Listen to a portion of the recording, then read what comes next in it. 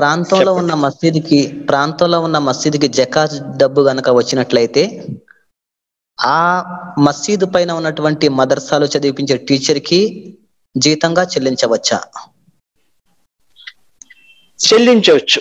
ఎందుకంటే ప్రత్యేకంగా మనం ఏం చేసేది ఏంటంటే ఇప్పుడు మద్రసా అనేటప్పటికి ఒక్క ఆలోచన ఏమొచ్చిందంటే మద్రసా అనేది పేద పిల్లల కోసం అనుకుంటారు కాదు మదర్సాలో ధనికులు కూడా వచ్చి చదవచ్చు పేద పిల్లలు కూడా వచ్చి చదవచ్చు ధనికులందరూ ఒక మదర్సాకి మనము జకాత్ చెల్లిస్తే అందులో ధనికుల పిల్లలు చదవలేరు.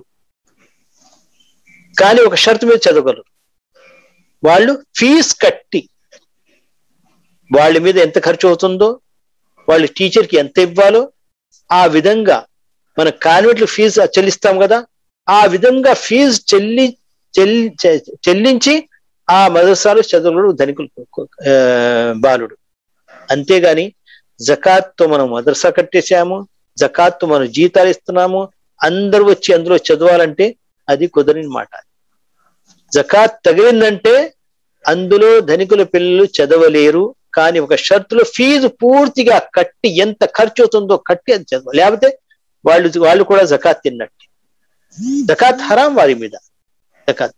అందుకని మనం జాగ్రత్త పడాలి. దీ- ప్రత్యేకంగా మనము హాస్టల్లో భోజనాలు పెడుతున్నాము పేద పిల్లలకి అనాథ పిల్లలకి అది వేరే సమస్య. కానీ హాస్టల్ లేని స్కూల్లో హాస్టల్ లేని మదరసాల్లో జీతం ఇస్తున్నామంటే జీతం మన చేతులు చెల్లించాలి. ధనికుల పిల్లలు ఉంటారు పేదవాళ్ళ పిల్లలు చాలా చాలా తక్కువగా ఉంటారు. వాళ్ళకి ఫ్రీగా పెట్టేయండి మిగతా వాళ్ళకి ధనికుల పిల్లలు వాళ్ళు ఖర్చు పెట్టి చేస్తారు. ఆ మనము పోల్చి చూడాలి. ఎంతమంది ధనిక పిల్లలు ఉన్నారో ఎంతమంది పేద పిల్లలు ఉన్నారో పేద పిల్లల ఆ, ఫీజులు ఎంత అవుతున్నాయో అంత మట్టుకు మీరు జకాత్ తీసుకోగలరు. కానీ ఈ పిల్లలు ఎవరైతే ధనిక పిల్లలు ఉన్నారో వాళ్ళు తప్పకుండా ఫీజులు చెల్లించి ఆ మదరసాలు చదవాలి. మదరసా అనేటప్పుడు పేద పిల్లల్ని జకాత్ నడిచేది ఎవరైనా వెళ్ళి అక్కడ చదువుకోవచ్చు. అలాంటి ఆలోచన మా ముస్లింలు ఉంది. దాన్ని మనము తొలగించాలి.